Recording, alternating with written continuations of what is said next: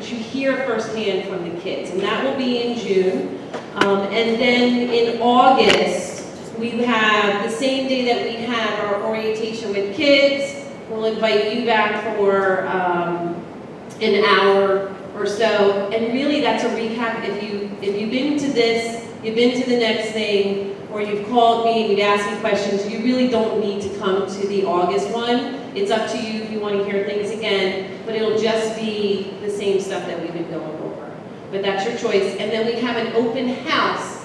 And the open house is usually the day before school starts, where kids can come in and try their lockers, check out where their classrooms are, and that's on your own. It's like the, bu the building is open for you to just walk through. Because again, I know you're curious to see where their locker is, help them get it set up. Don't buy those locker inserts with the shelves. Don't buy them, it's a waste of money, they can't have them. I'll tell you that right now, don't get them.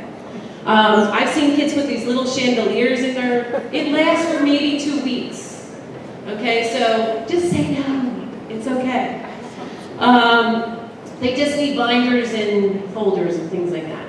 Um, but I lost my train. That, that's the open house, and that's we open the building for an hour, and you can kind of go through their schedule with them. When you get their schedule, do not panic. Do not go crazy. Try to figure it out for them. We will help them through it. That's the hardest part of middle school for you guys. It's your anxiety for them. And so we're going to talk about that tonight and hopefully relieve that some of that anxiety for you. All right? I'm going to be very upfront with you. I, I'm a direct talker. Some people like that, some people don't. You know, I, like as I said, I've been doing this for 27 years. I was a high school teacher, a high school administrator, I was a coach. I then became the assistant principal here and then the principal. I can't remember how long I've actually been here in the middle school. I love it. I don't know how I even got here at the middle school. You're laughing at me. And um, so, but it happens, and it's a great place. It is two fast years. And your kids, you're going to like them some days, and you're going to not like them on other days. All right, let's watch this cute little, and here's just another one about us.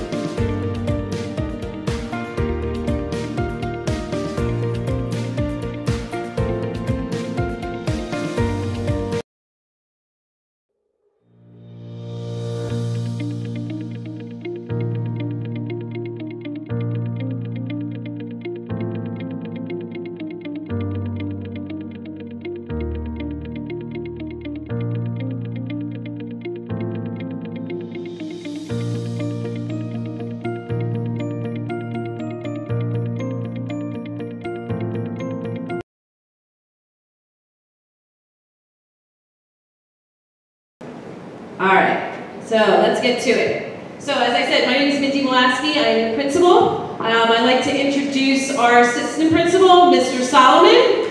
Give him a round.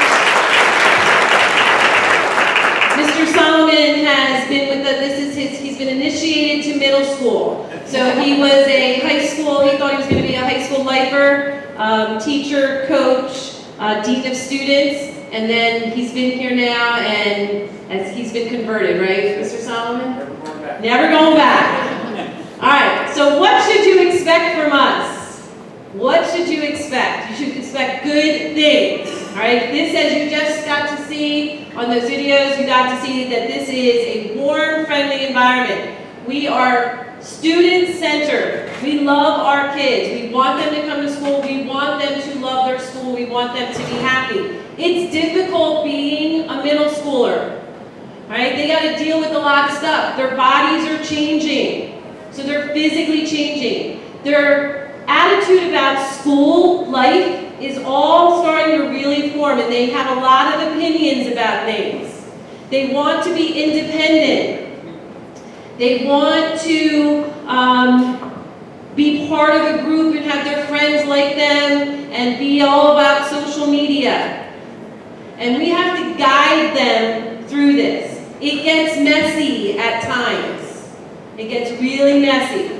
Uh, but we have an excellent faculty. We have teachers that truly care about your kids. And they come to school each and every day trying to make a difference for them. So know that they care for them. You saw that uh, You Matter, We Care. Uh, that was a slogan that we were using uh, for two or three years. We're now, we now talk about being a cardinal and what that actually means. We have a challenging curriculum. We have a lot of communication. So we will talk about that tonight, ways that you can learn about the middle school and keep in touch with us. But the biggest part of middle school is the social emotional piece. They cry, they're angry, they will yell, and then they will cry again. Uh, they'll come in my office just for nothing, and they cry. um, and that's okay, because we have to coach them, and we have to work on uh, helping them through uh, what it is to be a middle schooler. So we talk about what that means in terms of the social emotional. Do they have that awareness? Do they know who they are as a person? Are they self-aware of their behaviors, their habits? You know, one of the things, they, they don't turn their homework in. You know they did it, but for some reason, it didn't get turned in. So what's the why behind that? So if they know it, what's holding them back? Or they tell you, what's the typical thing they say, oh, I don't have any homework. I got nothing to do. Um, I just recently found a student that was able to change Genesis.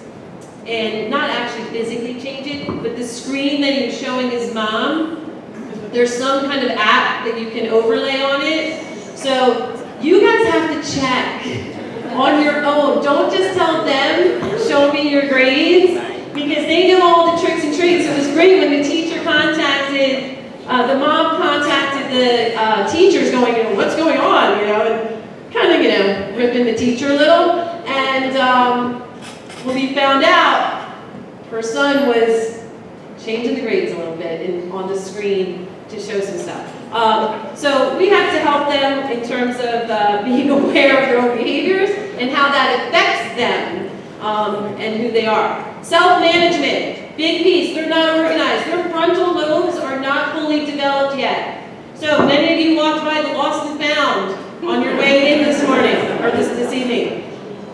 That's no joke, right? I donate, and that's that's been donated three times over. Okay, so we donate every marking period. We're about to donate, we're waiting for parent conferences so parents can go through it one more time. There's expensive stuff. Did you see those water bottles? Those are not cheap. So there's a lot of stuff there. They will tell you somebody took it. They will say, they might even say somebody stole it. That is not true. They lost it. They absolutely lost it. They have no idea. They will swear up and down they brought it to school. They will tell us, we go to the camera, we watch them come in school, they never had it. It's sitting at home at the door. The other piece of it is, that they will forget and they will call you and they will say, please bring this. I forgot my sneakers for track. I forgot my um, computer. How can you forget the computer? They forgot their book bag. They forgot their lunch. They will call you for everything. And I'm going to tell you this, resist. Do not come every single time, okay? They need to learn to get their things here. That's going to be hard for you, right? Because they're going to be on the other line, and what are they going to do? What did I say they do? They cry. And then they nag you. And then because you're tired, you got other kids, you got work, you got stuff, you give in because it's easier. All right? That's a decision you got to make on your own, but you need to think about that as you're going to navigate because you will be here a lot and you will know Mrs. Pressman and Mrs. Sloan by name and you'll get them holiday gifts and you'll give them donuts and flowers because they're going to see your face all the time. I'm funny, thanks. I appreciate that. I, yeah. This is what happens when you get into middle school. Um, you start to read your mind, but no, seriously, just think about that before you bring your, bring, you just keep coming. Relationship skills, and when I talk about relationship skills, we're not talking about boyfriend, girlfriend, we're talking about, you know, not romantic relationships, we're talking about all relationships in terms of skills. How do they have the relationship with you? You know, because if you're on their back, how do they tell you, Mom, Dad, I'm, you're, you're, you're, you're suffocating me and I need some room? That's a hard conversation with some of you because you're scary, right? I'm scared of some of you right now. Um, I saw you come in. I saw a lot of people coming in and they gave me the once over. So I know that it's scary for them to talk to you as well. Um, but we need to help them navigate their relationships, build those skills with their classmates. They're going to do a lot of group projects. You know, those are the skills they need, not only for high school, but beyond. They need to know how to work with other people and not hide behind their phone. They need to know how to have conversations, look somebody in the eye, shake their hand, say hello, good morning. So those are things that we work on. We talk about social awareness. Beyond the walls of Lawrence Middle School, what's happening out there in the world. So we get the social awareness as well, and then how do we make good decisions. They're going to mess up. You're going to get the call from Mr. Solomon. He's going to call you and he's going to tell you that they did something that you're not proud of. Right? That's hard. That's a hard phone call. You're going to then immediately come to your child's rescue and say, well, what did everybody else do? Did they really say that? Going to start questioning. Did somebody actually see it happen? Was it an adult that saw it happen or was it another kid that happened? Stop. All right, let's talk about it. Let's build it. If they made a poor decision, it's not the end of the world. College transcripts will not see their middle, their college uh, recommendations will not see their middle school transcript transcripts. They will not see their discipline record. Most times kids will get a, get a detention in middle school. It's a badge of honor for some of them, right? Uh, some of them will decorate. I had a kid when I was at the high school, they would decorate their locker with their discipline slips. Right? I'm not, you know it. It wasn't you. It might have been you. um, so that's what happens right? They want to, they want to be cool, they want to fit in, but it's okay. It, it's a clean slate once they go beyond here. And they need to learn from those mistakes, okay? So don't be afraid of Mr. Solomon calls. He's a really nice guy, really nice. So if he calls you, it's all good. We'll work it out. No, we'll work it out. So some facts about us. Seventh and eighth grade, it is two quick years. We got about 600 kids in the building. We have a seven seven period day. It's a straight schedule. Um, classes run 51 minutes. And they have math, language, art, science, social studies every single day the entire school year. And then the other classes become every other day. So that means we have a red-white schedule. It'll appear on their report card or on their uh, schedule as a A, B day. This is what makes you guys crazy. So you're trying to figure out where they are, what they're doing, da da da. Don't worry about it. We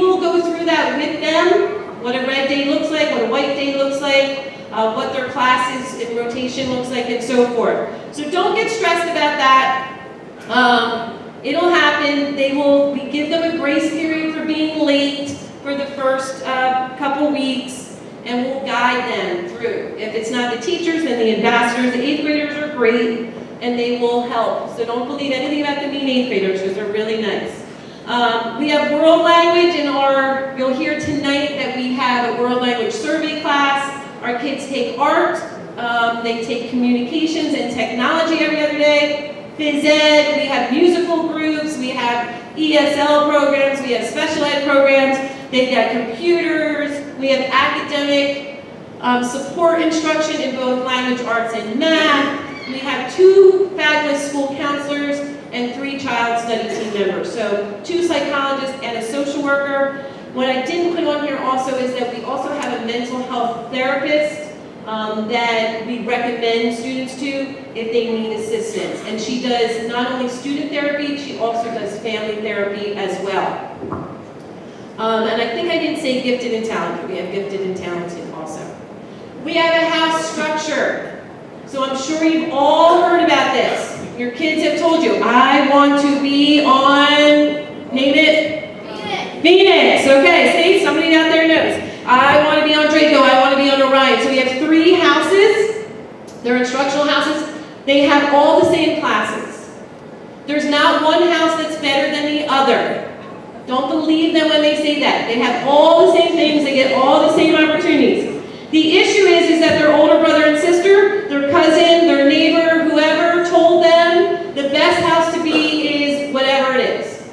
And they believe that to be true. When I was there on Friday, my young lady that I was shadowing, she already gave me her request. I said, that's nice, but it's not going to happen. Um, so anyway, what happens, uh, we changed this, I think last year. Because what was happening is, you guys started to outsmart me a little bit and say that, oh, you would call me and tell me my child or meet me in the summer, you know, here's four names that I like my child to be with, or we would talk about it. They have to be with this person, yada, yada, yada. And they were uh, brothers, sisters, siblings of students in a certain house. So that was your way to get your child into a certain house. So we, what we've done is, like I told you, I'm very direct and honest. So now what we've done is we're doing away with that. We used to have like a legacy kind of thing, if because we know that you were familiar with those teachers or that you um, you liked, you know, you know, you had the black T-shirt already, you know, that kind of stuff. So now we just decide. We just go, it's a random. We don't do the legacy piece anymore, and you can be in any house. All right. It's okay. When you open the letter, it's important, mom and dad, not to cry. Because you will, some of you will. All right, you're going to show your expression on your face. They're going to see it, and then we don't start off well in September. We want to start off happy, okay? So you have to hold back that emotion. It's all good. They're all coming to Lawrence Mills. You're going to get rid of them on September 4th. They're coming here anyway. You might as well make it a happy thing and just talk it up how great it is for that house. All right? If you do have questions about friendships and all those things, you can call me. We can meet. If you want to tell me about your child in terms of how they are as a learner so that I can help set them up with the right teachers. But remember, teachers change. People are, people get pregnant, they go out, people move, um, teachers decide, get new staff that comes in. So I can't promise you anything, right? So what Phoenix looked like two years ago when your 10th grader was here is different now than it looked like two years ago. The kids are different on that house. And here's the other thing, when they come home and they tell you, I don't know anybody, there's a hundred kids. They gotta know somebody. And guess what? It's a good time to make a new friend. It's a good time to get with other people. They're gonna know somebody. So don't worry. They're not gonna walk around the school being lonely. All right, those are the three houses. We have three house leaders. And the house leaders are your first go-to. So if you have questions about anything, these are the people that you're gonna go to. You'll learn more about this. This will all come out again. We're videotaping tonight, so you'll, this presentation will be posted. But these are your three people, these names are the leaders, and they run all the HAPS activities, events, um, and activities. So they're good people to know. They know actually better any, than anybody what's going on in their classrooms, because I usually go to them first. Okay? We'll answer questions at the end. Okay? Um, and then I have my friends over here tonight that are going to be presenting to you about um, the curriculum. So our instructional supervisors, Dr. Damian Barriaxa, who is our K-12 supervisor of all of those things that you see up there. So technology, library, art, music, business, uh, family consumer science. I don't think that's up there. No, it's not. Uh, business, all those All things those are. ones, business and FCS. Yeah, those are all at the high, some of those things are at the high school, but here, he's in charge of these people. Um, Michelle Dreamer is our supervisor for special education, 7 to age 21. Um, Melanie Philmeyer is our guidance supervisor. She is the district supervisor. She's not with us tonight, but many of you might already know her because she's been at lots of events because she, again, is K-12. Uh, most of you are here, you can admit it, you can shake your head or not make eye contact with me right now, that you are here to learn about math. I'm looking at one of them, she's going to try to look down, but she's not. She made good eye contact, and she's been in middle school before, so she's been trained. Uh, but our math uh, science supervisor is Yvette Panasovich. Um, Dr. Mary Pancoast is English, World Languages, ESL, what else? Social Studies. I knew there was one other. And then um, Mr. Zenovich, who is our athletic director. He's not with us tonight, but we'll go over all of his slides because that's one of the exciting things of middle school is athletics. Time. Time is changing. They got to get up earlier.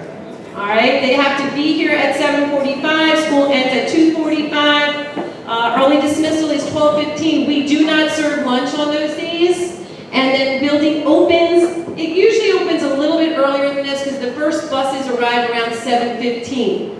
So if you are going to drop your student off, don't do it before 7:15. When they come in, seventh graders go to the gym, eighth graders come to the auditorium, and then we send them off um, around 7:35 uh, to their classes. So they're not in these locations that long, bless you. Um, they also we also serve breakfast. So if you're running late, they need to grab something to eat, they can do that and they can bring that off to their class, their next period. All right, so I talked to you, I said at the beginning of this, we do a lot of communication, and so here is all the different ways. So how many of you use Genesis already? Check grades. Good job, and I just told you the horror story of that. Um, the LTPS website, if you go to the middle school website page, you will see lots of different information, lots of different links, teacher pages, and all of that. Uh, there are teacher websites. All of our teachers are use Google Classroom. How many of you are familiar with Google Classroom? Good, this is a good crowd. Very smart here. So Google Classroom is where you find all of your teacher information. So again, when they're telling you there's no homework, tell them to go open up their Google Classroom and so you can see their calendars and see what is there. You can pretty much see what they've handed in, what's happening, what the do now was for the day, um, activities through Google Classroom. You're going to get a lot of phone calls from me or from Mrs. Pressman from the main office or emails. They come to you if you want to delete them. They come to you as LMS Nation. All right, that's what we're known as. So everything, all of our social media, all of our communication is to use. Uh, so if you want to block us, you're blocking LMS Nation. Uh, but don't block us because we get lots of love and information to you. So alert now your phone messages and email messages that we will send you. How many of you got something about this through an email? And phone dollar? I'm not sure she did a phone dollar, just the email. Okay. Um, and then Facebook, LMS Nation. That's for the older crowd. We we use, still use Facebook. Just teasing. Um, you'll get quick news the, for the district. We have a Twitter page. We have an Instagram. The Instagram is really geared for kids, but we'd love to have you there as well. We do inspirational messages. We do lots of pictures of kids there, things that are happening in the school. Um, and then I just recently started a podcast. And so you can find that by just going to the podcast app. Um, you can listen to some of our shows. I think we've done five shows, and the last one that we did was actually kids on the podcast.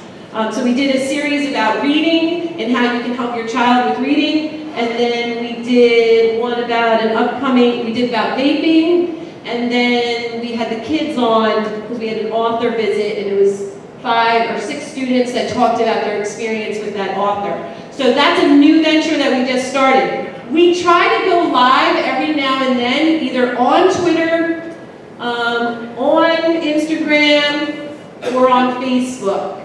So if we're having an event, like you got to see some of the house relays or field days, and or we have some kind of great guest speaker, or we or a concert, I'll try to go live. It won't be for the full hour, but you might get a glimpse to see um, what's happening here at the middle school, or if we're on a trip or something. All right, so that's all the ways. We have a cardinal code. So our kids earn star tickets, and they can put them in the bins. Those are not garbage cans out front. They are prize, or they're star ticket bins. And we are recognizing kids for being ready, responsible, and respectful. And we talk about that, we teach it to them. What does that look like in the hallways? What does it look like when you come into the auditorium? What does it look like to be ready for gym class? So that the first few weeks of school, we're really driving home the Cardinal Code, and then every Friday, sometimes Monday, sometimes whenever we feel like it, we play music and we call kids down and they get Dunkin' Donuts, they get pretzels, they get gift cards, because we're just happy they're here. So we want to recognize kids for following the Cardinal Code. Whew. Okay, that was me. Now I'm going to give the, uh, microphone up to Dr. Pancoast. Thank you. So happy to see you all here tonight. I'm going to talk briefly about the four departments that I supervise. Um, so we have English language arts, uh, which every child has to take. Um, we do things a little differently here at the middle school than you might be used to in LIS. So what we try to do is we try to expose your students literature that they might not have encountered before. So for example, right now our seventh graders are doing the science fiction unit. A lot of students don't read science fiction down at LIS. And our teachers walk the students through that type of literary uh, genre. We do a lot of independent reading in our classes as well, and of course we support them in writing. If our students are having a little bit of difficulty, we do recommend that they stay in the ASI class. That class is taught by their classroom teacher, and it's a nice small group. So they do a lot of pre-teaching. Sometimes they just use that time to look at their writing and really work with the child individually to strengthen the child where they need the support. Um, we also have a communications class, which is fantastic. Uh, Mindy mentioned Oh, do you want to show them the video? Yeah, Mindy has a video. Uh, Mindy mentioned earlier that we had uh, focus on social skills and interacting. Recently, uh, about a couple weeks ago, we had an interview day where all the eighth graders competed um, in the interview day, and we brought in members from the community um, to come in and interview our students and give them a grade.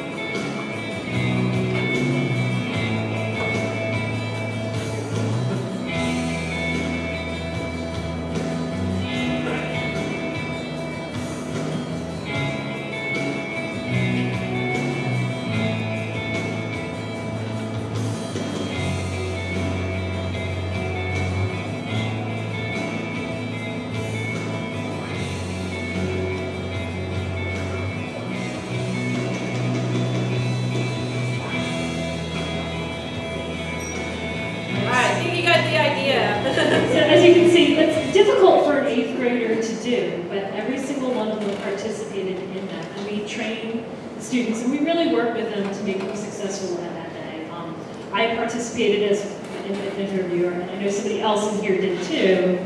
And did you have a nice day? I had a awesome day. It's a great experience. Did a great job. Yeah, thank you. The students really did an awesome job. But we really want to prepare them um, for engaging with adults, right? That's eventually where we're getting to. We're getting to the adult world. So they do a really nice job in doing that. The final class we have in English Language Arts is a seminar class. And like the ASI class, the seminar class is a support class. The students get it half a year, it backs up with math.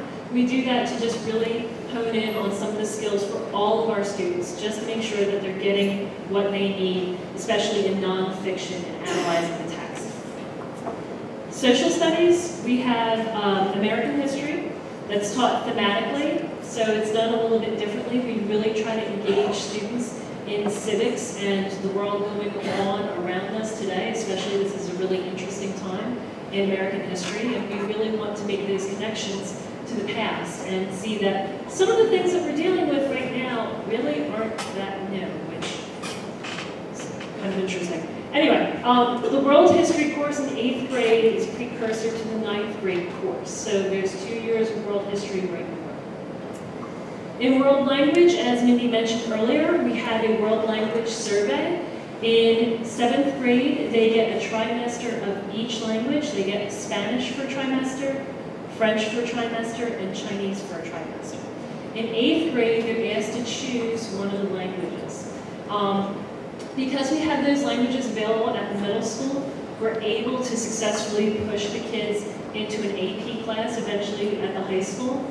Um, and a lot of our students um, I'm working with right now as seniors are testing for the seal of biliteracy. That means that they're able to communicate with proficiency in another language and put that towards their college, possibly waiving them from the language requirement as a college, but also it makes you more employable.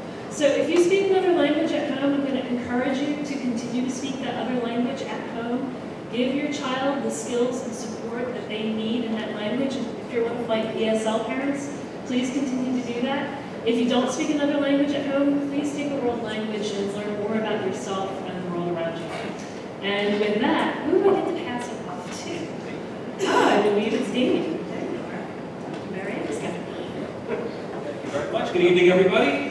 My name is Damien Barrienza. I'm the supervisor of all those things that Mindy mentioned earlier. And before I go into my little bit, I just want to really co-sign what Mindy said about um, all those kind of social emotional changes. I've been living the middle school life in my house for the last few years now. for all the good and, and, and better stuff that goes with that. Uh, my son is wrapping up his, uh, his middle school experience in the district in which we live right now, and my daughter will be starting middle school next year. So um, it's been, but it's actually been a really great experience. And I know in, in my case, um, I've really seen through the eyes of a parent how the expanded opportunities for extracurriculars, uh, in my case, in, you know, my family's case in the arts, really gives kids a chance to find, uh, you know, kind of maybe make some new friendships and some new relationships and really feel very comfortable and really start to blossom. Uh, so you know, it was, a, it was a wonderful experience for my son. I'm sure it'll be a wonderful experience for my daughter. and it'll be a great experience for your kids as well. Uh, so we have a few things to talk about tonight as far as the arts, uh, the visual and practical arts are concerned in LMS. Uh, in seventh grade, the art classes focus primarily on two-dimensional art, drawing and painting. Uh, in eighth grade, we'll move into three-dimensional art, uh, you know, pottery, sculpture. We have a kiln here. Miss Richardson, our art teacher, will fire some of the students' projects. And if, we get a chance to tour the building, please do take a look. Ms. Richardson always puts the students' art on display, and some of it is, it, it her displays are, are, wonderful and made even more wonderful by the, the, the art that the students create. Uh, this is their last chance uh, in the K-12 system to do kind of a survey of different, of different art, uh, artistic techniques when they get to high school, they can actually pick specific classes in which to specialize, painting, drawing, pottery, sculpture, commercial art. Uh, we also, offer AP studio art, but that's a few years down the road for you guys. Uh, in the technology department, Mr. Stamatellis uh, runs our technology lab here. It's right at the very beginning, or at the uh, very entrance of the school. Uh, it's similar in setup to the launch lab at, Mrs. Rubenstein's launch lab at the intermediate school. Uh, very hands-on uh, problem-solving orientation. Uh, he works a lot with Ms., uh, Mrs. Kramer, our librarian, to teach the kids information literacy. Know not everything you read online is true, as we are learning. So, uh, so uh, Mr. Stamatelis helps the kids, and Mrs. Kramer help the kids, uh, guide the kids through that process of, of determining uh, what information is valid and what is not. Mr. Stamatelis has some wonderful things with virtual reality, uh, website construction. Uh, continues, It builds on some of the digital citizenship lessons that start in the uh, intermediate and elementary schools. And he also provides the kids a, a kind of an overview of of uh, elementary coding principles. He builds again on what Mrs. Rubenstein did with block, uh, block coding and helps transition the students, for, if they're interested more towards text-based coding, because at the high school, again, they'll have the opportunity to take Introduction to JavaScript, Introduction to Python, Robotics, uh, AP Computer Science A. So there, again, we're trying to um, build on what happened at the intermediate school and get the kids ready for high school as well. In our music department, uh, we have concert band, we have orchestra, we have a jazz band, we have a chorus uh, for uh, seventh and eighth grade, and for eighth grade, obviously students can't do it next year, but at the eighth grade, we also had a performing arts class, which is kind of a musical theater class. It's a, an overview of theater arts, learning not only about performance, but also about lighting, learning about production, learning about stagecraft, and Ms. Mulaski mentioned earlier the need to develop social emotional skills, the social emotional learning that takes place in middle school. Really, what better discipline to help learn about social emotional learning than theater and the perspective taking that happens in theater and putting yourself in the position of another person and kind of walking a mile in their shoes. Uh, finally, in our library, uh, Ms. Eileen Kramer and Ms. Mary Beth Coleman are our uh, libra librarian and library assistant and they work with the teachers to help teach research skills, uh, information literacy, like I mentioned earlier. Uh, Mrs. Kramer runs our morning video announcement program, WLMS, so if your students are interested in TV video production, this is an awesome opportunity for them to get involved, very hands-on in terms of the production and the broadcasting aspect.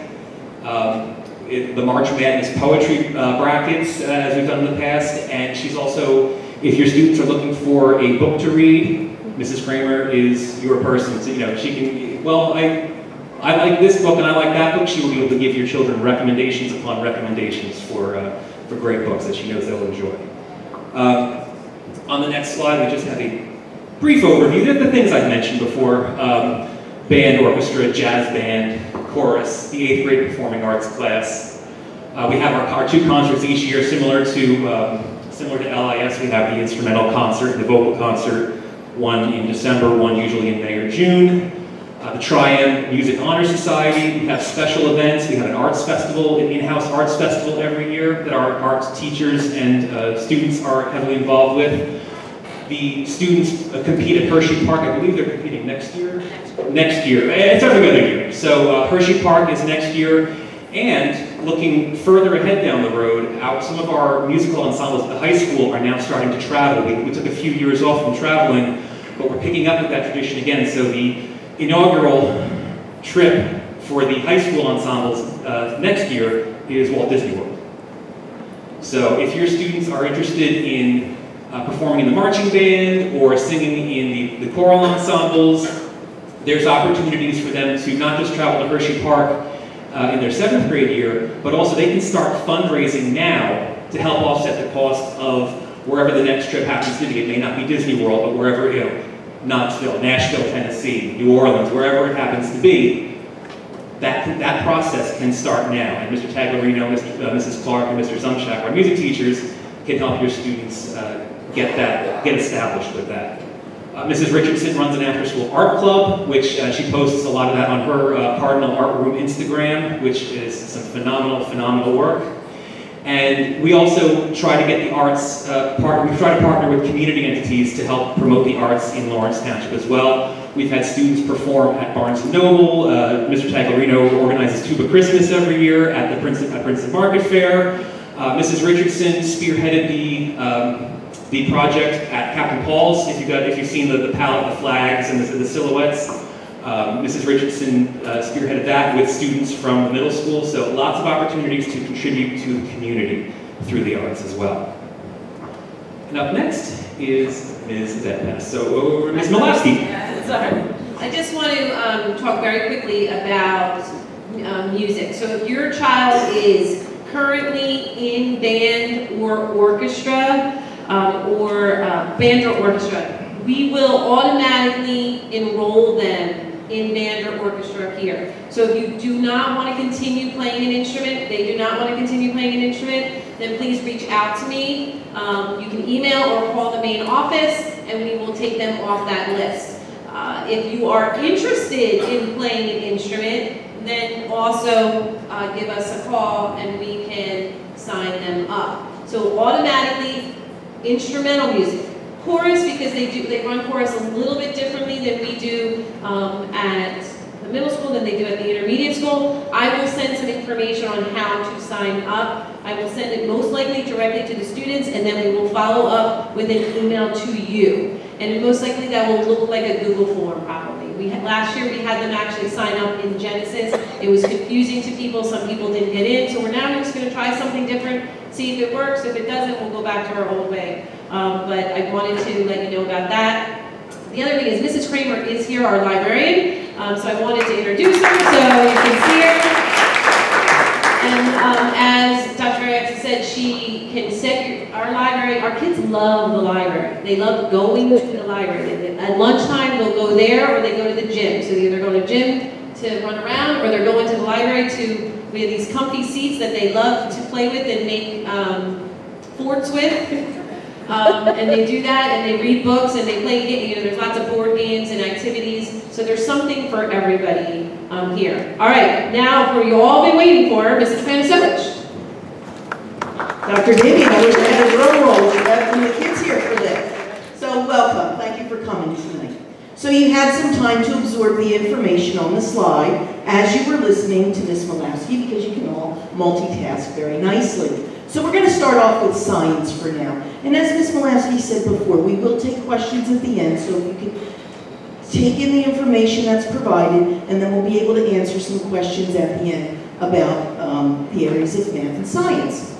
So your children will take science for the two years that they're here. It's a full year course, which is different than what they're currently experiencing at the intermediate school. So it will be a full year academic. We basically, instead of saying seventh graders are going to take life science and eighth graders are going to take physical science, we just run one curriculum for the building for the entire year. The way the New Jersey student learning sta- standards are set up, it doesn't dictate what should be done at any grade level. They just give us a barrage of standards and we can cover them any grade level, six through eight. We've dedicated our life and earth space science to the intermediate school level. So here at the middle school, we focus on life science and physical science. We are currently teaching all seventh and eighth graders are being instructed in the life science curriculum this year. Next year will be the physical science curriculum. So your children will get physical science in seventh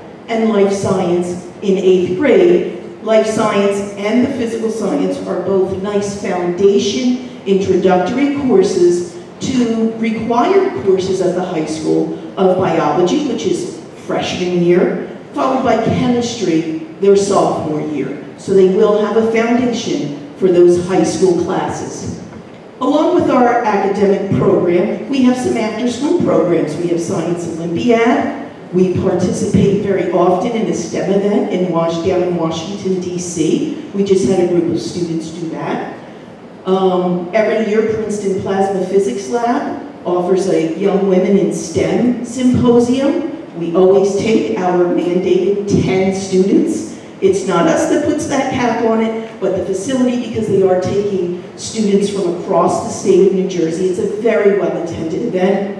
So our science teachers are working very hard to give them excellent learning opportunities within the classroom, and we also have some extracurricular uh, opportunities for them if they are so interested in that as well. Hold on to your seats, it's okay, take a breath, we'll talk about math. So, That's next, the next slide. Want to go to the next slide? No, let's sit here for a minute. So this is the math courses that we offer here. And math is very different. If you weren't aware of it, you are aware now, we have different courses in math to enroll students in. All of our curriculum is aligned to the New Jersey Student Learning Standards, and it is a very rigorous curriculum. It is not the seventh and eighth grade math that most of us experienced. That eighth grade at-level math is what most of us experienced as a freshman in algebra. That's significant changes. So in seventh grade, we have our Math 7 and Math 7 Accelerated. Math 7 Accelerated um, covers additional topics. Um, it covers all of the seventh grade standards and one half of the eighth grade standards. Where can students go after Math 7? They go into Math 8. Typically, the path from students in Math 7 Accelerated is to Algebra 1. We also offer academic assistance instruction, ASI, in mathematics. That's for struggling students. We do a lot of skill building in that particular class. We do pre-teaching so that students have the confidence when they go to their standard math class to participate or to give them that leg up with a comfort of an introduction to some topics before they see it in a large classroom setting. Our ASI classes are very small. They are typically under 10 students or about that number, so it's a smaller, safe environment um, for students who, who may perform better in an area that they might not feel as comfortable or confident with. Math seminar, we have it in grade 7 and 8, and math seminar actually teaches content that we took out of each of the content of the grade levels because it is such a, a lofty curriculum based on the standards that the state is recommending that we were saying that we need to address. And we teach that in our seminar class. It helps us to better pace our standard math classes. So we have uh, proportional uh, statistics that comes out of one of the curriculum and it goes into math seminar. So that's what we do there.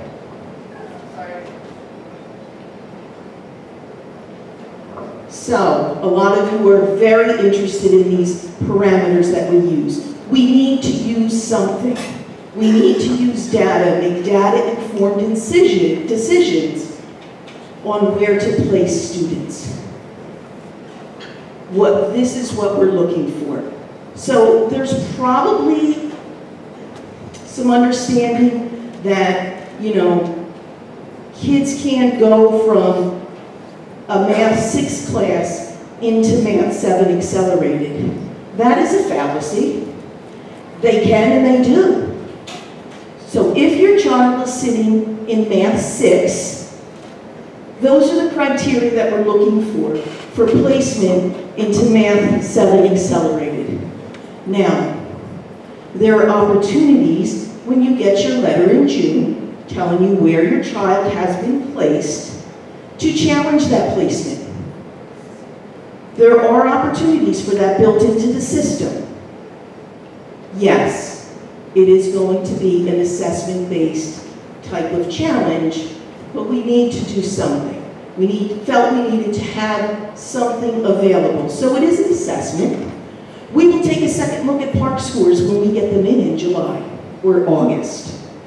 We will do everything we can to look at a child multiple times to make sure they are placed in the most appropriate course for them. Ms. Molaski talked about social emotional learning and, and kids break down. They break down when they feel overly challenged, when they feel like they can't keep up in a class. So we, we like to try and put them where they're fit into the best profile for them to have not only academic success, but personal success in the way that they feel in that class and how they receive the subject. If your child is in Math 6 accelerated, those are the criteria to remain at that level. We have worked with changing things from time to time and changing schedules based on teacher recommendations once they get here at the middle school. It is a tedious process. I will lay my eyes on multiple data points for every single one of your children. I'm not perfect, as you can see, I wear glasses. So we do our best. I sit in we conference, Ms. Malasky and I, about borderline students. What was the teacher recommendation? What was the comment made? We just don't willy-nilly or just say, yep, we're going to put them here. It is a very thoughtful and long process with us working with the intermediate school teachers and then Ms. Malasky and I working together on that. So a lot of times you'd like to know and see the progression. This is a possible progression for any one of your children, regardless of where they come in and which math class they um, will take while they're here with us in the middle school. And we're even going to go a little further for those of you who might look or have some questions. You're going to want, and, and if your child remains in a placement, you're going to want to know, what can I do to advance their math? We can advance their math. We typically do it between grades 8 and 9. And these are the ways that potentially students can change their math placement moving into the high school. This is something called option two. It's in the New Jersey DOE standards. It is a high school opportunity. It is not designed for middle school. So we can help you with all of this. So my next slide. Here is the lifetime of math from middle school into high school for those of you who are interested in what can the future hold.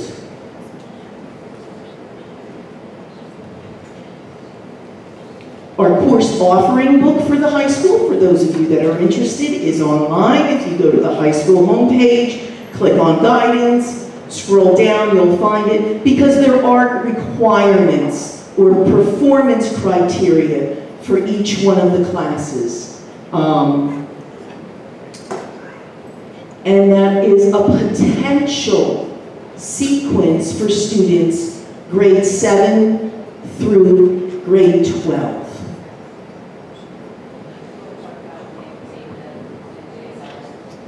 Sure. So every year, we have to provide or take assessments, and there's a there's a, a Picture, there you go. I'm gonna post it, so you'll get it. So for our students that are currently, right now, taking algebra at the middle school, which by the way, they have to do the entire high school algebra curriculum, plus the other half of the eighth grade standards, they've got to do all that in one year. But, right now, the state graduation requirement is taking and passing the New Jersey Student Learning Assessment in algebra at a level four or five, in order to earn a high school graduation diploma.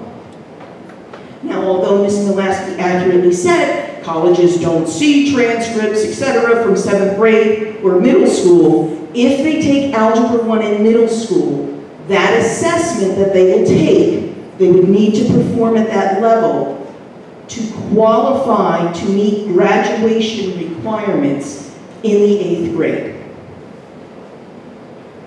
That's a pretty, we, we have a great success rate with our students, but that is something for you to recognize that you're looking at a high school graduation requirement being completed at a very high level here at the middle school. So,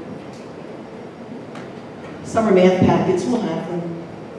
We'll have them. And that's really, you know, we support students reading all summer. It is best if maybe, don't wait till the day before school, but maybe sometime in August, maybe a page night. And that's just to refresh their skills to be ready coming in. We also have assistants, so you can call into the middle school, make an appointment, and we'll have a math teacher here to help your child if they get stuck.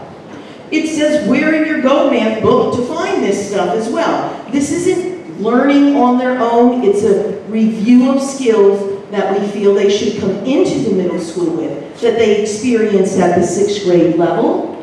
Um, and just so you know that many of our high school courses, not only in the area of mathematics, have summer assignments too. They're posted on the website. You'll be able to get them there. The summer math packet will be posted uh, on the district as well as the middle school website for you to access as well. I'll be around to take questions at the end.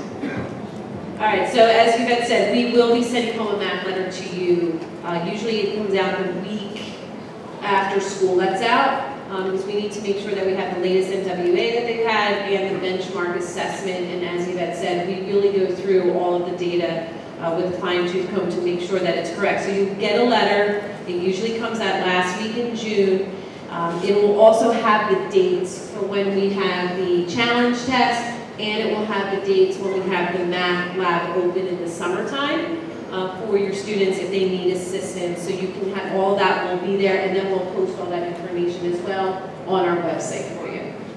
All right, health and physical education curriculum, I'll go over that with you. Uh, we, they have health in seventh grade and in eighth grade. They have health and PE every other day. So one day they have PE, one day they have health, and so forth, and it just rotates uh, throughout the year that way. You can see the health topics. Um, and these are important topics. Some of them they've had before. They're going to have more advanced. They're going to be talking about this stuff. So they might have questions for you. So be ready to answer them, right? Um, all right, so I'm, all, I'm going to let, um, they pretty much stand, you know, this kind of talks for itself, so I don't really need to go through that um, with you, but I'm going to have Mr. Solomon go through with you about athletics and about physicals, um, testing, what that is, and eligibility with you. Okay, so athletics here at the middle school, uh, what I've learned by being here this year is that the kids are very supportive of each, each other. Uh, we have, we hold uh, team sports in the fall, winter, and the spring. In the fall, we have boys and girls soccer, field hockey, and cross country. In the winter, we have boys and girls basketball, wrestling, and cheerleading. And in the spring, we have baseball, softball, and track. Um, it does get competitive. Um, some of our teams, we do have to have tryouts, so we do make cuts. Um, but the kids really work hard to participate in these programs. Um, the, the important pieces to understand when you want your child to, to participate in our sports here, there's a process they have to go through. You got to get the paperwork in. And it begins with registering online. You go to the athletic uh, portion on our website, there's a sign-up page.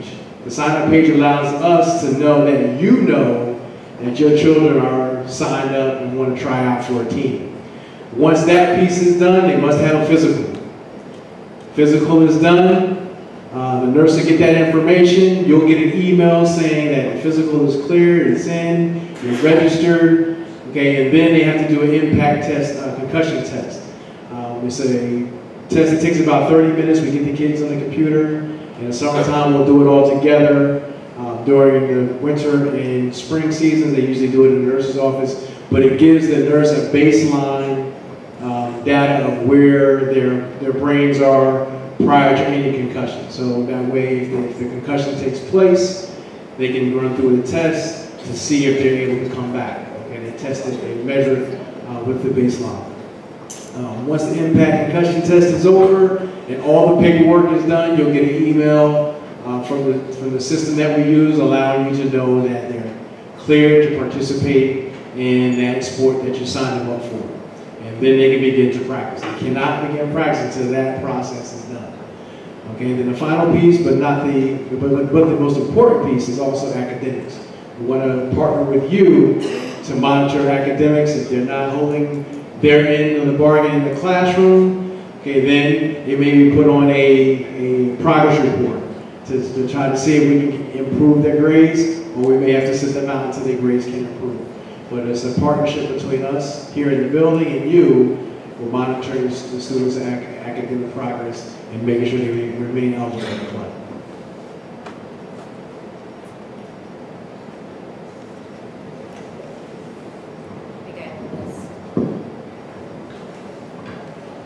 Okay, we also have intramural programs, so students who may not want to participate on teams, they can still go through the same process, the physical process, and participate in our intramural programs. We usually do basketball and volleyball, but this also gives them an opportunity to compete against the staff in our, um, in our staff games that we have. And uh, this year, I'm a little disappointed, but the kids were very happy that they beat us in basketball this year. So, gotta get in better shape so I can perform a little bit better with my colleagues.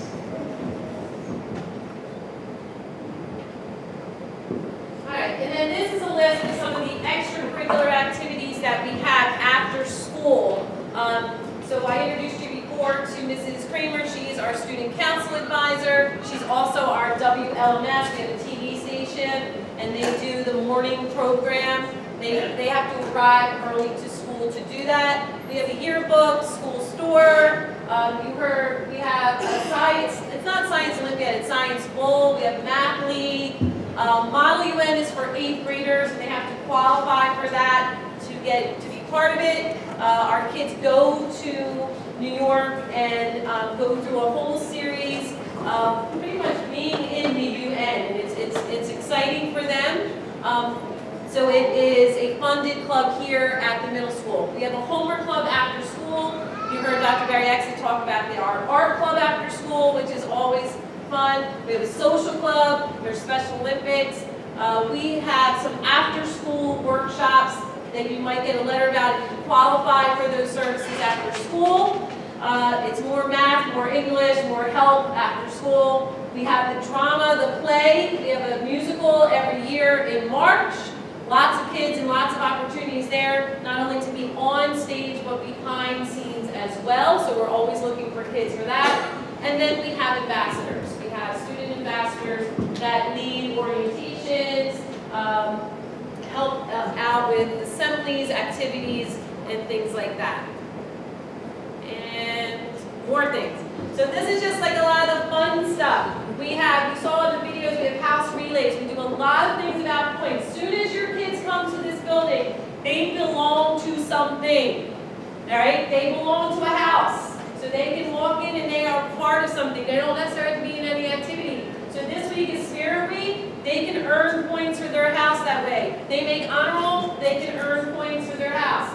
If they um, have great attendance, if they return their library books on time, they can have, they can earn points. So there's lots of ways, and one of those ways is house relays. You can see that in the corner. They're playing tug of war. We have every six weeks or so, like pretty much indoor uh, field day activities. And then we have spirit days. We have marking period assemblies. That's that top corner. So every marking period, we recognize our kids who get honor roll, high honor roll, uh, all of our sports teams, anything that's happening in the world of LMS, we, we recognize, we go through a lot of paper, a lot of awards, uh, so that you can put them on your refrigerator, you can, we have photos, we, we're like Disney characters here. You hold your certificate, we pose with you, and then it's great. You can have me in different hairstyles, and you can have me in different outfits and different weights. Okay, so if you're somebody that's had a lot of children here, you'll see me in this outfit, not this particular outfit. You will think it's this outfit. It is not. I assure you, I have a lot of red, white, and black outfits. Okay, uh, we have a seventh grade picnic. We have a snow tubing trip for our eighth graders every year. They look forward to it. It's a great day. Um, we did, we changed our career day to have our interview day, but we will be bringing back part of our career day. We had career day speakers um, this year as well. We do mindfulness. So part of that self-awareness, we need to help them be present in the moment. We need them to also have that self-reflection and to that self-management piece. So in health class, they're working, we have a consultant that we work with also on mindfulness. Um, so that's happening in health and um, phys ed. We have a big push for literacy in our building. We want our kids to read. They love to read. You'll be surprised. They say they don't, but they do because I see them. They go to the, they come to lunch with books, reading them. Um, every single chance they have, there would be assemblies and kids have books out. They want to read them, which is great. Um, but we have family book nights. We have two family book nights a year, one in the fall and one in the spring. It's coming up um, this April 20 something, I think. And um, We want parents to come, brothers and sisters to come. We have 10th graders from the um, high school that come down. They lead some of our groups, but really it's our kids leading the groups. And if you haven't read the book, it's okay. You can still come and participate. We try to pick books that are really, um, you know, universal, real world things that you can just talk about. Um, and then it's just, you just kind of sit there in awe of the kids as they talk about the books themselves. We have no homework nights. On those nights, we give you off and we tell you to go out and have dinner at one of three restaurants that we'll have an association with and we get a portion of that check and that money goes to the activities that we do here. So we really appreciate if you take us up on going out to those restaurants um, so that we can get a little bit of portion of your bill. We have prize days, we have our career days on there again. Arts festival, as you heard, student versus staff, basketball, volleyball games, we do community service, we have field day, and recognize students of the month. It's a lot going on here. It's kind of, uh, one of my friends, she's like, it's like a cruise ship. Um, and I'm Julie. Those of you that know love boat, right? Okay, I'm really aging myself right now.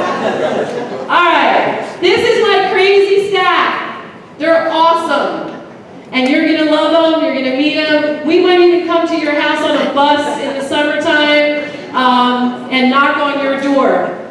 So we just love being here. You have to be a special person to be part of a middle school, and these people have dedicated their careers. So uh, be open to them um, and share with them the things that you're concerned about, and we're here to help. That's it. I wanted to get it done in an hour. It's seven. It's eight fifteen. We started a little late, so I think I just went a little over. Questions? Come on. Go ahead. She's brave. I, I heard you guys have tennis, but I didn't see We do not have tennis. Okay. So they might play tennis in gym, but we don't have tennis as an extracurricular activity. Um, in the past, when the tennis season is over, sometimes for the high school, uh, their their coach may do like an after school, but it all depends on what's going on and what their schedule and how far they go in their season. And the tennis team actually at the high school is getting quite good, so they've been making the state playoffs. So their time necessarily might not coexist, but they are on the tennis court in the fall and in the spring here. Um, but we play tennis in gym class. Okay. Yes. So that was what we were talking about, is they might have academic support instruction. We also have a math lab during lunchtime every day. Um, and we also have after-school homework help. There's a homework club. And if you qualify, um, there we have these after-school workshops. So we have a math lab and a writing lab after school as well.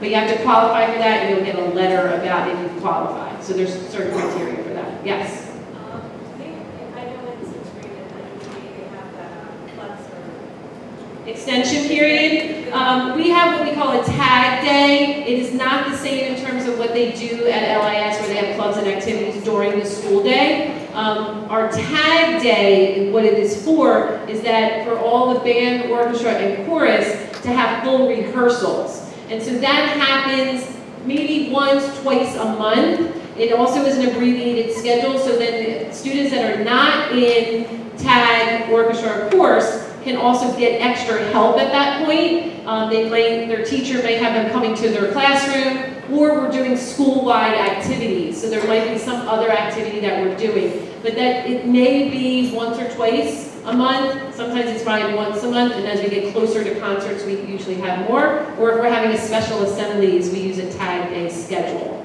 So I don't know if that answers your question or not, but it's not clubs during the day. No, not clubs, uh, daily time to do your homework. No, we do not have a study hall. There is no daily study hall. We have a, a class called Cardinal Time.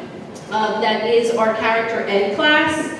Um, and that's what we're doing a lot of also our soft skills things. So we're really talking about those interpersonal skills. We're talking about what it means to be respectful, and responsible, ready. So in Cardinal Time, they have a 40 minute lesson and usually they'll have about 20 minutes to do homework.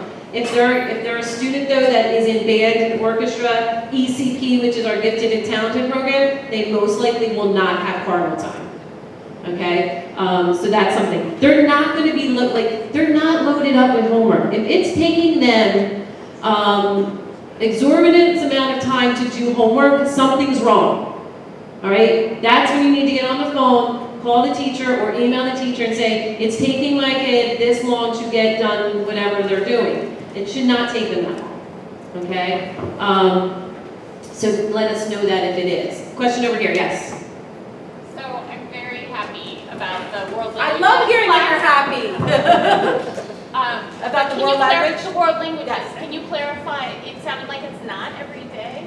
It's not every day. So we have our world language for seventh grade is a trimester. So they get 30 days of Spanish, 30 days of French, and 30 days of uh, Chinese.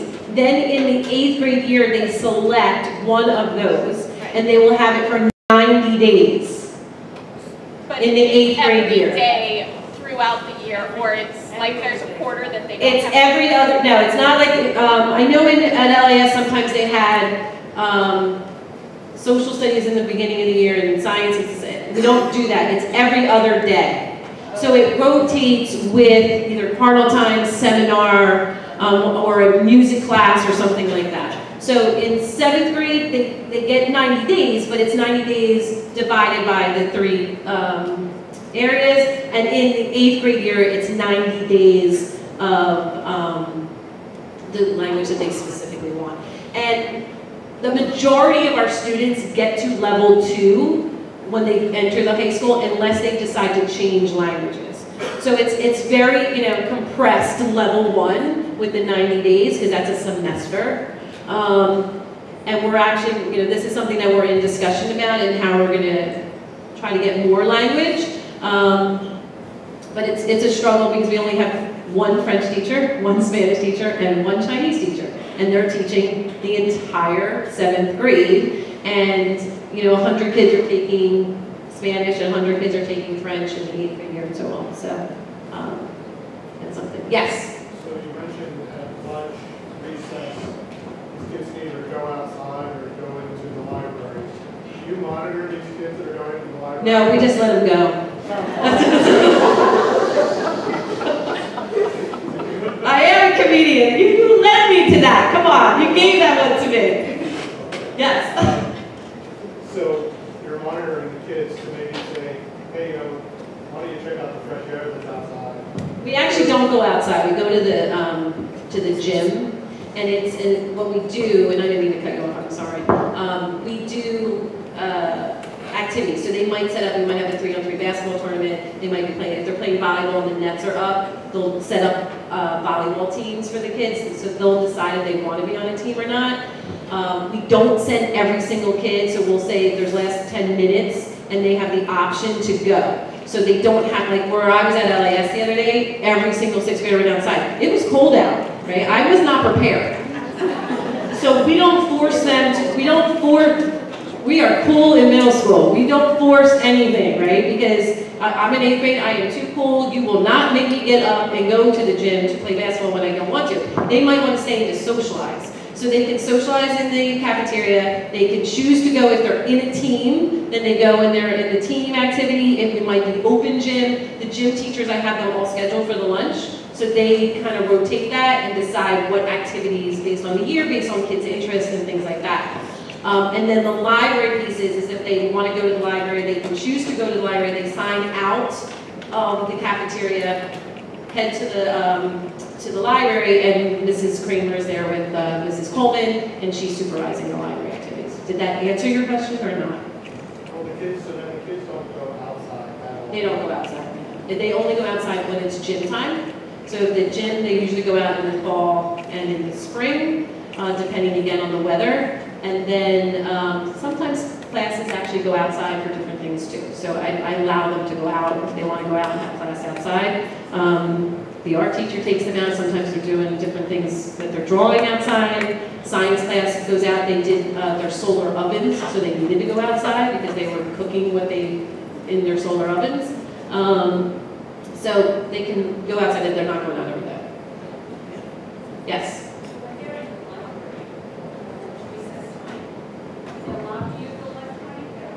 No, they cannot use their own devices ever. So that was a really good question. Um, so they they must, if they need to bring their cell phone, they can bring it to school, but it must be off and in their locker. They cannot carry it on them. If they have it on them, we see it on them, or they're using it, then we will take it. The first time we give it back at the end of the day, the next time you have to come in and, um, come and get it. And usually what happens is you come and get it, you give your cell phone, and I say, here you go, parent. And then you go and you give it to the kid, right? Don't do that. Wait till you get outside. Um, So you get what I mean on that one, but they cannot use their own devices. They have a computer. So if you really, here's the thing. They always will say, well, my mom's calling. If you need to get in touch with them, they all have laptops. They all have emails. Email them. They're checking. We're teaching them. That's one thing I don't think the sixth grade checks. We are teaching them to check their emails because they are going to be getting alerts. They get emails from me. So I send them to them from LMS Nation. Sometimes I send them as my own name. Um, they send me emails. I just got an email from a young lady yesterday about something that was going on and she needed some help with something. So we teach them to check their email. There's, they don't drive. So you can't have them go anywhere and do any errands for you. And if it's really important that you need to talk to them, please call the office. We will get them, if it's, a, it's, an emergency, we can identify that it's you on the phone, um, then we will have them come down, they can use their cell phone and call you, because we know that's usually when it's an emergency, that you'll answer, because you, you see it's my number, sometimes you don't answer, I know. So if they call from their own phone, I know you'll answer. So we're not that mean, right? So the kid, teach your kid to say, if they need to get in contact with you, to come to the office, go to their school counselor, they can bring their cell phone if they need to, because if that's the number you're gonna answer, and they can call you that. But there's nothing that's that emergency, right? Because they, they're here, they're, they're, they're 12 and 13 years old. I don't know if that answered, yeah. Yeah, one so we're allowed to send them an email and their email address? Well, be careful on that too, because I'm gonna tell you, if you use inappropriate language, I see it. I don't wanna be in your business, but sometimes I gotta be in your business, right? So I really, that's one of the things that crack me up. Sometimes they come and they're like, Mom, I, I don't feel good, I'm throwing up, I have, it. somehow that comes up on an Autobot thing, and, um, so I see all this stuff, and they're like telling me how they don't feel good, and blah, blah, blah, or, you know, something is emotional, it'll come up to me. So just know that, whatever you're. But if you need something, you know, you, you need to send them, like, you know, if you've told them, they're supposed to stay after school, for instance, or something, and they didn't tell you, so they're gonna email you and say, Mom, I'm staying after school, you write back and say, okay, I'll meet you at door number whatever, uh, at four o'clock. Um, you know, that's, I'm assuming that's the kind of thing you want to email them. You know, hi honey, how you doing? Like, that's, that's creepy. It's gonna get old after a while. You might want to put a little note their lunch, but other than that, don't be emailing them every day. They're, they're, they're learning. Yeah, yes. Um, we can talk if it's twins. We usually like to divide them. Most parents do, some parents don't. Um, I don't put them in the same classes, in the same exact class. I try not to. But I'm going to tell you, we had 13 sets of twins, I think in seventh grade. Um, that's hard scheduling. That's a lot, there's only so many places they can go, right? Um, so sometimes they end up with their person. I don't know how it happens. And sometimes, they, you know, because sometimes you don't want them together. Um, sometimes we don't want them together. And, uh, but traditionally I try to keep them uh, not, sometimes totally different houses, sometimes on the same house just to make the parents saner. Um, but it's really kind of, that's a conversation we can have um, if you, if you want to request something for that. Yeah. How does jazz band work? You had mentioned for orchestra and for concert band, they would automatically be? Same thing for jazz band. If they qualified in sixth grade for jazz band, they'll qualify for here for jazz band. If your son or daughter wants to be in jazz band, then Mr. Tagliarino will probably audition them. If your child's not currently in jazz band and would like to be, they can certainly speak to Mr. Hoagland, uh, who will talk, uh, who's the, the, the teacher at, at the intermediate school, and he and Mr. Tagliarino will, will link up before the end of this school year. Mr. Tag will come down, listen to them play, not an audition in the strictest sense, but just to get a sense of their, of their level of proficiency and get some ideas as to where it would be a fit for them. Can you be in multiple ensembles? Like, can you be in orchestra and jazz band? Yes and no. So it depends on their, what their other needs are. So if they have um, if they're in the jazz band and orchestra and they're G and T, no. If they're in, if they want to be in jazz band, orchestra, and chorus, no. They only can get two. You know, if they need, um, if they need certain requirements because they have an IEP, that, their IEP is gonna trump all these other elective types of. So there's only two spots open, and usually they won't have either seminar or Cardinal Time, um, in place of these music classes. They don't, what's different at, at the intermediate school is they're pulled out for the day, they, they're not pulled out, it's part of their schedule. Right, it is part of their daily schedule, they will have a jazz band class, they will have an orchestra class, they will have a chorus class, if they choose that. If they're not choosing that, then they most, they will have seminar, um, they will have Cardinal Time, or they might have, um, ASI instruction, those are those every other day classes. Okay? If, if they're in jazz band, remember, they're doing double music. So they're doing their jazz band music and they're doing the concert band music. So it's an accelerated, they're, they're doing more. So that means they should be practicing at home. You got a question? Child who is in band as well as choir, so the default is you would enroll her into band. She would definitely go into band, and the reason I don't put them automatically in choir is because from what I understand of how choir works there, it's like, all right, everybody do choir, so you don't have to stay in wherever. So kids don't necessarily want to be in choir. Um, they kind of choose more to be in into the instrumentals at the, at LIS. That's kind of just what I know and what I believe. You can change my mind on that, that's kind of what I've seen. So the kids said, I don't want to take 300 seventh graders and put, the- number one, that's a huge course, right? Um, and I don't have enough room for that necessarily in their schedules. I want kids who are really serious about being in chorus, so that's why we do it that way. Most of the kids that are in band and orchestra are already committed to the instrument because you either bought it or you're renting it. You're, you know, this you come with all the time. So she would want to do choir in addition to band, is that something just a conversation or? No, she'll automatically go into band, and then when I put out to you the sign up for chorus, that'll come and then I'll, be able to do it. Yes. Um, the bus is directly after school days at what time? Four o'clock, we have a four o'clock late bus. Um, sometimes they run two buses, sometimes it's one depending. If they haven't signed up for the late bus by lunchtime, they won't put them on. They, because they do a route, they will also not stop at their normal bus stop. It might be your neighborhood stop. Right, so for instance, if you live in Avalon Run, they're not gonna do their normal four stops in Avalon Run, if I don't know if that's making it up, but they might just stop at the clubhouse in Avalon Run, that makes sense. So they make up a schedule based on who signs up each day for the late bus. And remember, it's four o'clock, they're, they're traveling all, it's one bus for the middle school and high school. So they're traveling all around Lawrence, so a lot of times I'll get the call, what time you get five forty-five, my kid's not home yet.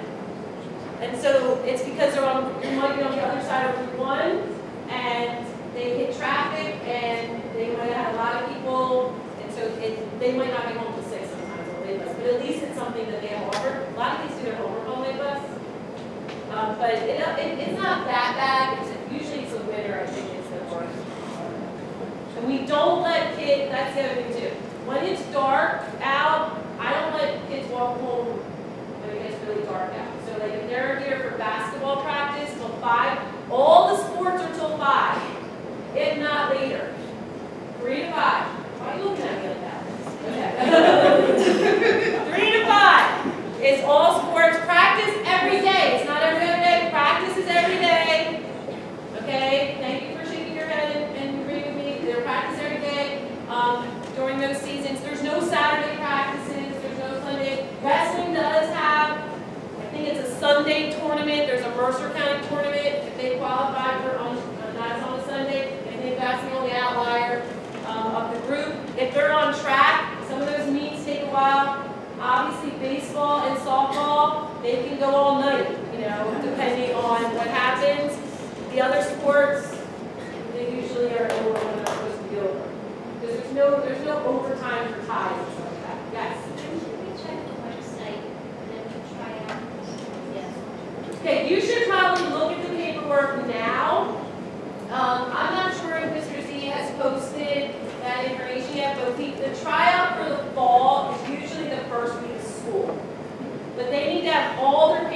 done prior to. So if you're a fall sport person, so if you're field hockey, soccer, or cross country, start looking at that paperwork now, figuring out when they had a physical. For some of you, they might you might have missed the physical, so you might have to get the paperwork, go to the doctor and have them fill it out, or you might have to get a physical. Um, because they have to have the physical in the full calendar year, calendar year. It has to be in the calendar year um, prior to that sports season starting. So if you're gonna be a fall sport, I would start looking at that now, and then the tryouts will, will be the first week of school. And those, and, um, those sports tend to cut, except cross-country, um, soccer, field hockey, field hockey does, it depends on how many girls go out, um, but they tend not to cut. If you have to leave, don't, I won't, I won't judge you, so you have three. So I know you were being it's okay. Yes, So, if your kid makes the basketball team yes. and it's getting dark and it's five o'clock. Do you live close, are you a walker? Yes. Um, let's, we'll have to talk about it. Um, it's because, it's this, it's Princeton, but they're going Princeton Pike, you know, that's usually, the- it depends on what side of the street, all that kind of stuff. Um, Actually, they, actually, no, actually. they Going don't. back? They go back to the football field, the football field. Yeah, I- I- we can talk about it. I- The thing is too, like dances and stuff, like you gotta come, you gotta park and come in. Like I don't let kids at nine o'clock walk home, you know, that kind of stuff. Um, It's just, it's just I don't want to get hit by a car. Unfortunately, we've had, not middle school kids, but it had been a high school kid that got hit by a car at night. And they're not paying attention, you know. Um, or do they get to ride their bikes to school? Yeah, we have, we have two big bike racks. We have a lot of kids who ride their bikes to school. So that's a really good thing. Yes.